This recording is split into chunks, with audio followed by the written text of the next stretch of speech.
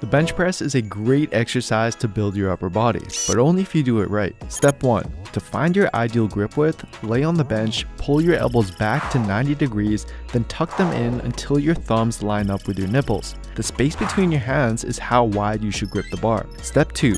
Stabilize your body by pushing your feet down with your quads and driving your knees out with your glutes. Bring your armpits down to your hips to activate your lats. And finally, extend your chest up to create a slight arch in your upper back. Step 3. Stay tight and push the bar up off the rack, then pull the bar over your shoulders. Re-engage your lats by thinking about bending the bar in half. Step 4 pull the bar down towards your lower chest while tucking your elbows in towards your sides. Think arrow shape instead of T shape. Step 5. Pause for half a second on your chest and then push the bar up and back until your arms are straight over your shoulders.